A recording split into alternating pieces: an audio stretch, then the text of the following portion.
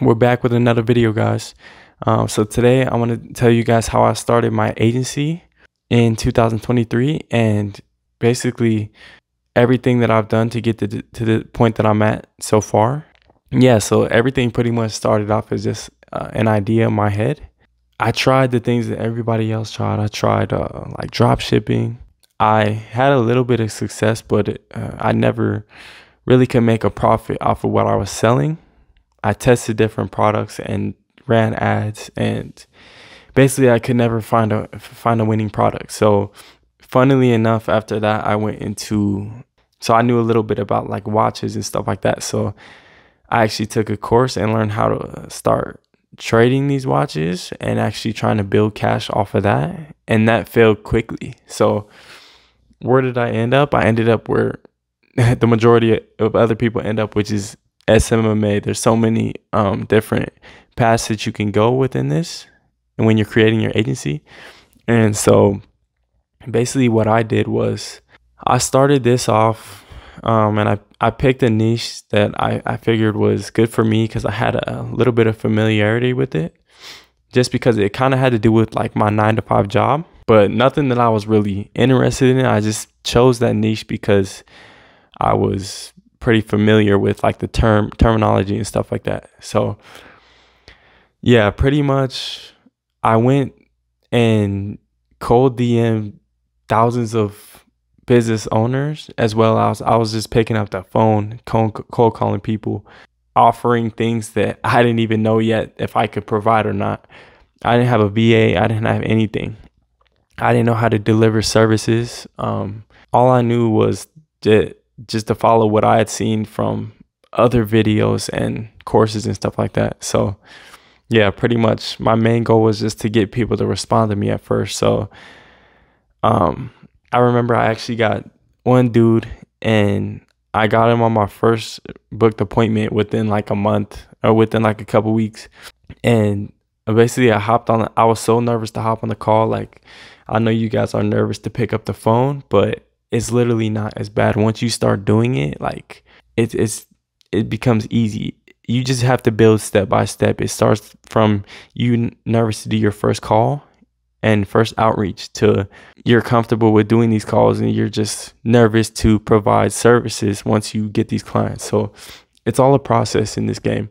So pretty much I hopped on the call with him. I had my notebook out. I had my questions written down. I didn't even have a I had a laptop that was uh, trash. It was like a I don't even know how much it cost, but it was probably the worst laptop in, that anybody in the country has. So I was literally had my uh, questions written down in the notebook that I just was reading off, and I was going back and forth with this dude, and he was basically asking me, "What do I provide? This and that," and I was just, I didn't know what I actually could provide, but I had an idea, so I basically was offering certain things. I wanted to run ads for him and his company, but little did I know that in that certain niche that I was actually targeting, they don't make that much money. So nobody's gonna run ads. Nobody's gonna see a profit when they're selling a low ticket item.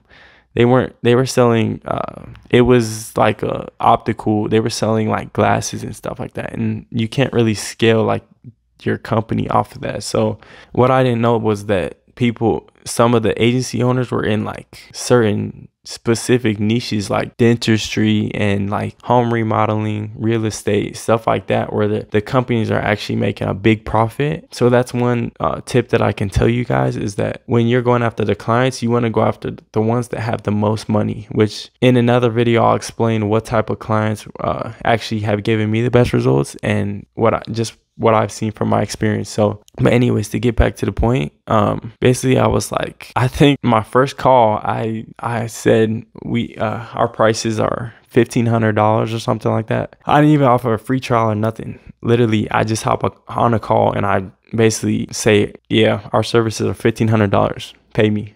And the dude was like, all right, yeah, let me think about it, this and that. And at that point, I didn't know about like objections or anything. So I was like, yeah, he, he he's like, he'll have the money in like a month or two months, maybe. He's going to think about it. So I'm like, all right, I just let him get off the call. He's like, yeah, I'll, I'll hit you back when I'm ready, whatever. And then I just found it hard to find uh, to set appointments for that specific niche. And I'm like, this is kind of weird. Like, I don't really even want to do this. So at that point in time, I got my first sales call and it kind of gave me confidence to like, I can really do this and set appointments. So then after that, uh, I ended up switching to like home remodeling. And that's when I started to find like companies that were actually making a lot of money.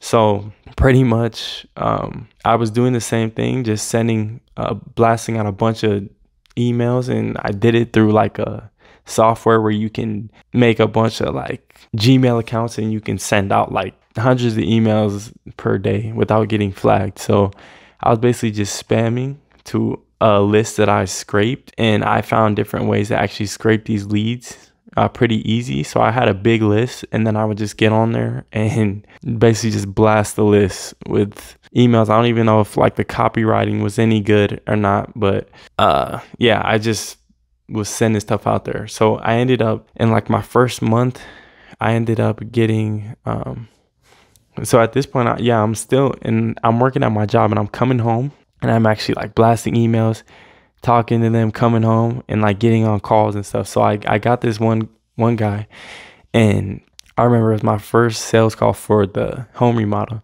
And basically this was the first time I came up with an offer and like I knew what we were gonna offer and everything. It was just I still didn't know how to deliver services at this point.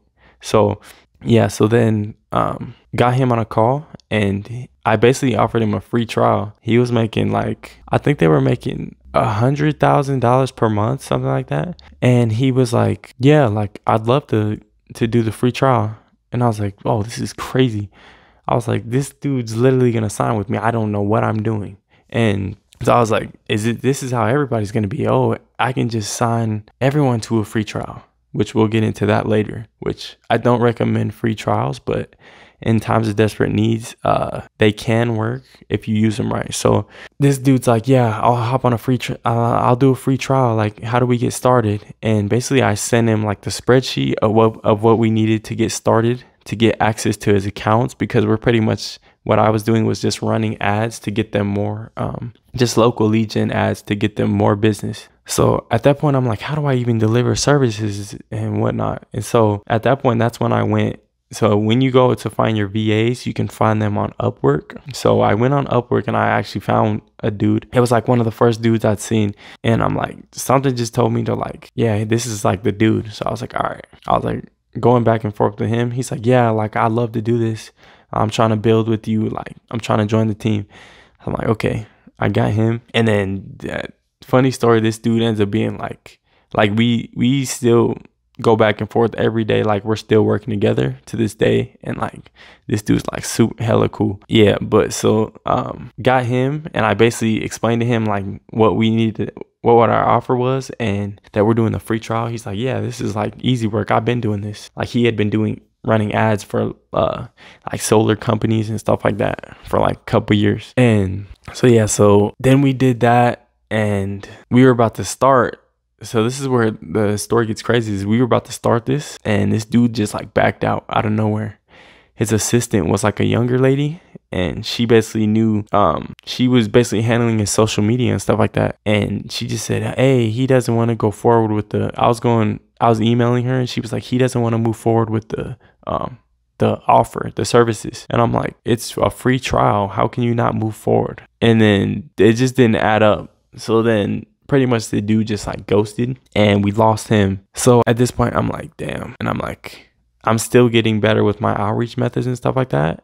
And yeah, so at this point is when I started figuring out how to actually talk on the phone when I was getting on these cold calls. I knew what to say to get them intrigued and to want to book a call. So it still takes hundreds of calls, maybe hundreds of calls, even to get people on these appointments. I just want to let you guys know that it's not going to be something that you just pick up the phone and do 10 calls and you get appointments because a lot of the time people will just pick up the phone i don't want this i don't want the services. No i'm good i'm good.